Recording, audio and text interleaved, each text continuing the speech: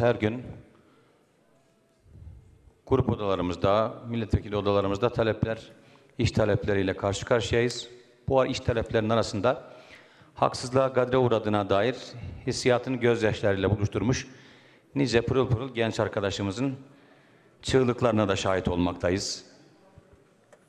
Mülakatta elenmiş olmaktan, gadre uğramış olmaktan, hakkı yendiğini düşünmüş olmaktan, devlete itimadı sarsılmış gencecik çocuklar görmekten biraz muzdaribiz. Bu yazılı sınavı geçmiş, mülakatta elenmiş, hakkı yendiğine dair kanaatini siyasi partinize, hasımlığa döndürmüş bir dünya çığlığa şahit olmaktayım. Bununla ilgili bir kriter oturtmazsak şayet bizi temsil ettiğimiz değerlerle beraber saygınlık alanının dışına çıkaracak bu gençlerimiz. Yani dine, imana, mukaddesata, vatana, millete, bayrağa, sadakate davet ettiğimiz gençlerimiz haklarının yendiğini düşündükleri bir yönetim marifetsizliğinin yüzünden devlete, millete sadakat duymamaya başlayacaklar. Dolayısıyla bu mevzuda bir hassasiyet taşınması lazım.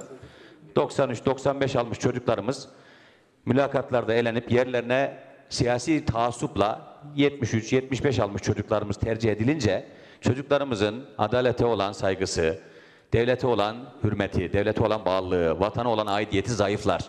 Burada hak edeni hak ettiği yere getirmek siyaseten herhalde birinci vazifesidir. Bu mevzuda iktidar grubunu bir yıldır uyarıyoruz.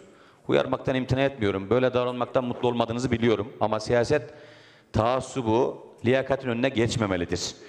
Bizim beyin göçü verdiğimiz gerçeğini hepiniz biliyorsunuz. Ülkemizde çocuklarımız zaten işsizlik yüzünden yeteri kadar hırpalanıyorlar.